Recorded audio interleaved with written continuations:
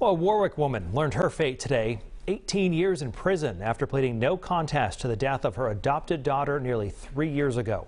Brittany Schaefer was in the sentencing and has the new details. She joins us live in studio. Brittany.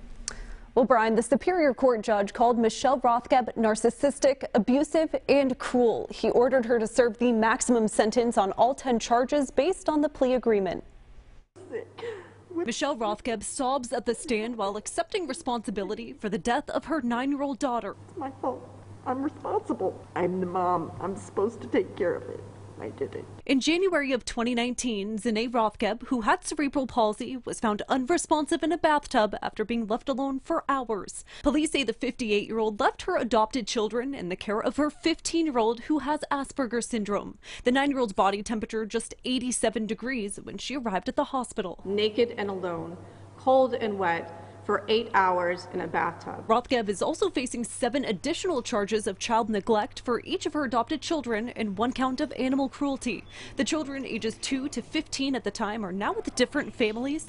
The adoptive parents of one of those children pleading the judge to have no mercy. When Sean gets hurt, his first response to us is to go run and hide because he doesn't want us to get mad. When I see what my son has gone through and all the other children, Please don't be lenient on her. Rothgeb pleaded no contest to all charges against her earlier this year. This afternoon, after emotional testimony, she nodded as the judge gave her the maximum sentence. This has emotionally shattered me.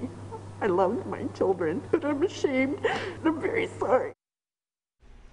And again, Rothgeb was sentenced to 18 years in prison. Coming up new at 5, why the state says she did what she did. For now, live in studio, I'm Brittany Schaefer, 12 News. Warwick woman is sentenced this afternoon for the death of her adopted daughter.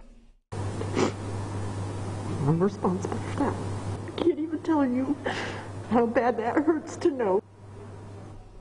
Michelle Rothgeb pleaded no contest to several charges, including manslaughter in the death of nine-year-old Zane Rothgeb. The 58-year-old was given the maximum sentence today. 12 News reporter Brittany Schaefer was at the hearing. She joins us now live in studio with more. Brittany. Well, Mike, Michelle Rothgeb took the stand today accepting responsibility and apologizing for her actions, but her tears making little difference to the judge as he sentenced her to 18 years in prison. The judge calling Michelle Rothgeb narcissistic, abusive, and cruel as he hands her the maximum penalty. In January of 2019, Zane Rothgeb was found unresponsive in a bathtub after being left alone for hours. Zane and Rothgeb's seven other adopted children all had developmental issues. The 58-year-old also facing seven additional charges of child neglect and one count of animal cruelty. This has emotionally shattered me. I loved my children. They were my family. They're gone. The defense says DCYF indicated Rothgeb had a long-standing record of excellence in childcare and went to her to foster special needs children.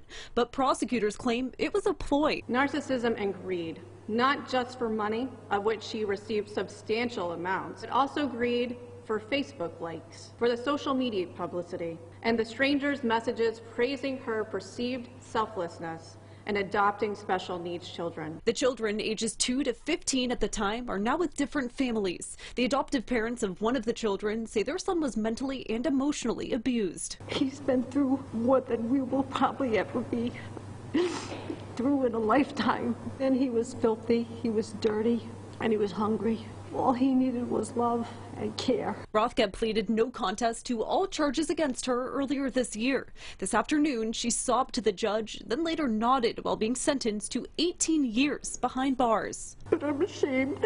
I'm very sorry.